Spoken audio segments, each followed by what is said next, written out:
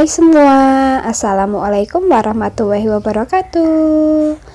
Ya ini ya teman-teman foto ibu aku lagi panen kangkung di depan rumah. Jadi ceritanya kan kemarin beli itu iketannya kecil Berhubung kurang jadi ambil lagi di depan rumah. Hmm. Nah ini ya. Maaf ini ibu udah mulai masak tapi pas masukin bawang merah bawang putihnya itu belum kerikot jadi kayak gini. Nah itu kangkungnya udah dimasukin ditutup sedikit ya dikasih udara. Udah mulai layu tuh dibolak balik sama ibu. Itu paling pakainya bawang merah bawang putih lengkuas sama daun salam. Itu dikasih cabai juga ya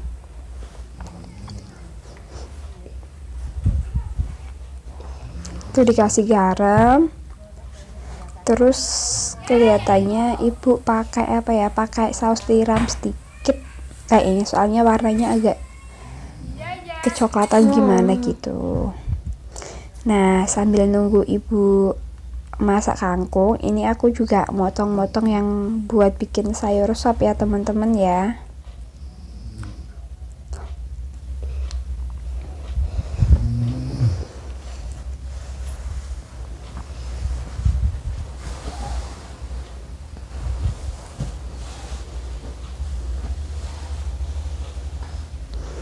itu nanti mau bikin sopnya uh, sayur sop biasa terus dikasih potongan ayam itu loh teman-teman.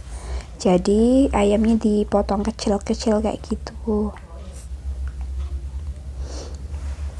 Selain tambah enak itu juga menjadi kaldu ya teman-teman. Biar lebih kerasa kayak gitu.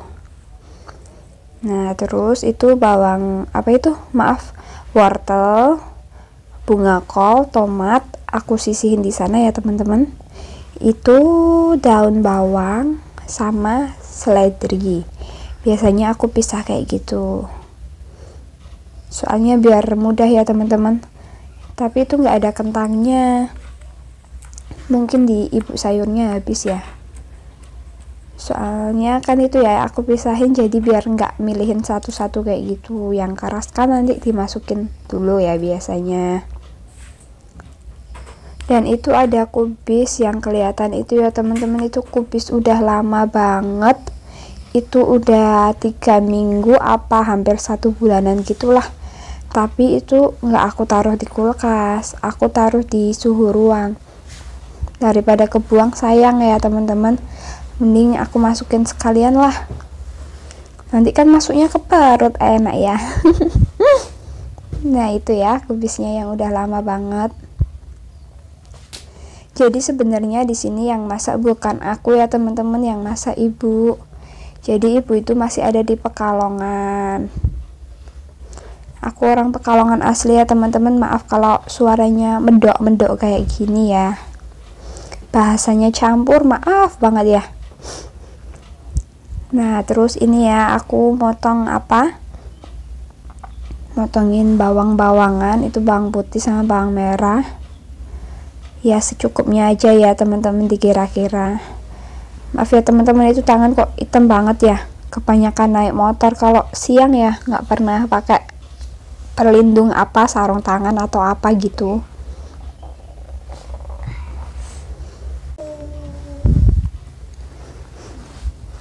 Nah, itu aku ganti pisau ya teman-teman ya. Aku ganti yang lebih gedean karena pakai yang kecil itu kok kayak susah banget gitu ya. Apa akunya yang nggak bisa nggak tahu juga ya. Terus apa ya? Uh, itu pisau kecil itu kalau buat ngupas buah-buahan itu enak banget. Tapi kalau buat motong kok aku nggak bisa.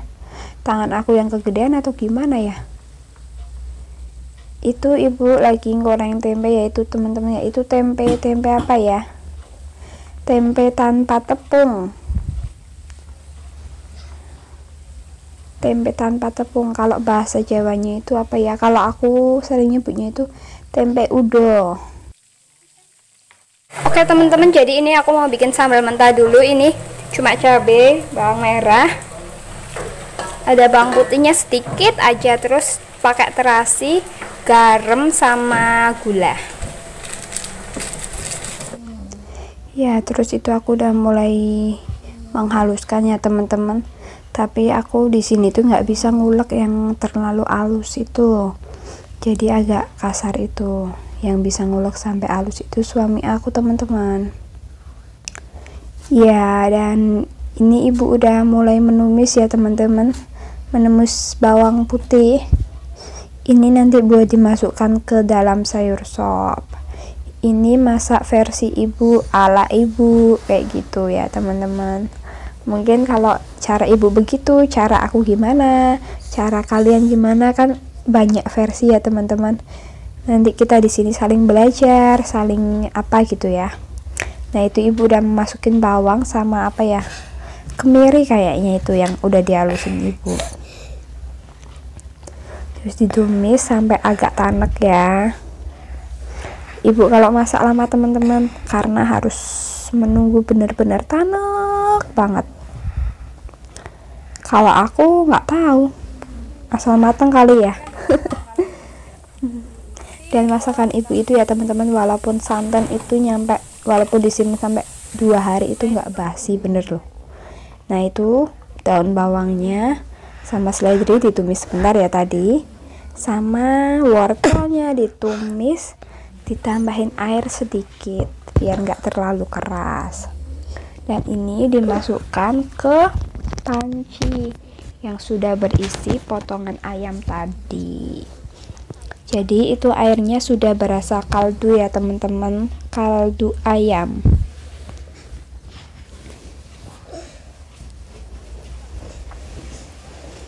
Tuh nanti kita tunggu agak mendidih biar mendidih ya sambil aku motongin buat sambal kecap ini. Itu nanti kalau udah mendidih udah setengah mateng wortelnya nanti kita masukin sayurannya. Sayuran yang lain maksudnya ya kayak kubis caisim gitu ya. Ini aku motong apa ya itu ya bawang merah bawang putih. Aku kasih bawang putih sedikit banget teman-teman. Aku pengen nyoba sambal kecap kasih bawang putih sedikit. Kata temen aku itu enak banget. Tapi nggak tahu aku baru nyoba kali ini ya. Dan ternyata hasilnya emang enak sih. Aku biasanya kalau bikin sambal kecap itu nggak pakai tomat ya biasanya teman-teman. Tapi ini aku kasih tomat aku potong kecil-kecil. iya. Terus apa ya teman-teman? Terus sambalnya jadi berair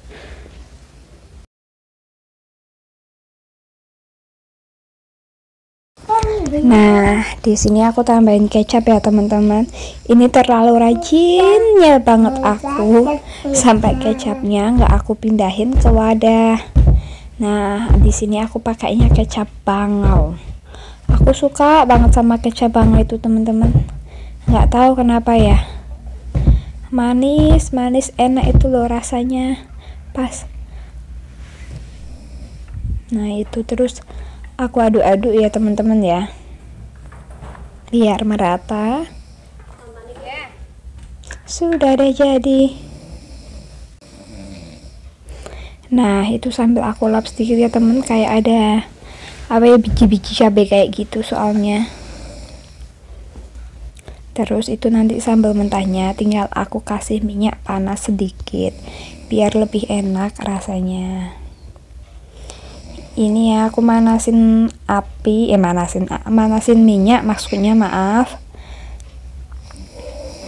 Uh, mau goreng ikan asin ya teman-teman. Ikan asinnya udah dicuci dulu biar nggak terlalu asin. Ada yang dicuci pakai air panas. Kalau aku cucinya cuma itu pakai air biasa aja ya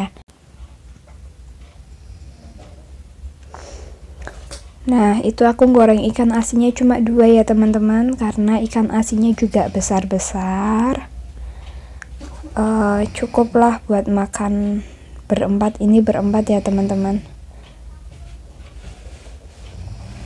Soalnya kan udah ada sayur sop, ada tumis kangkung, ada tempe, ada apa ya? Tadi tahu ya. Jadi segini cukuplah ya. Nah itu wajan, aku seneng banget masak pakai wajan teman-teman. Aku nggak bisa masak pakai teflon gitu, karena apa ya kurang leluasa gitu. Ya walaupun wajahnya hitam tetap cinta deh ya. Tuh ikan asinnya udah aku angkat. Hmm, itu bekas minyaknya. Aku siramkan ke apa itu sambal mentah tadi ya. Ya terus dihalusin sedikit biar merata.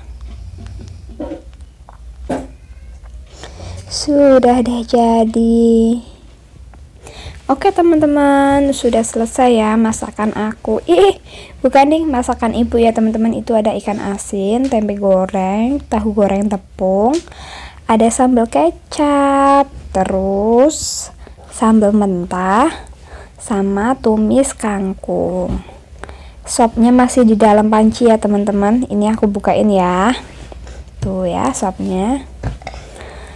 Ya segitu aja ya video dari aku. Terima kasih buat kalian yang sudah nonton video aku. Jangan lupa di subscribe, like, comment, and share ya. Terima kasih. Wassalamualaikum warahmatullahi wabarakatuh.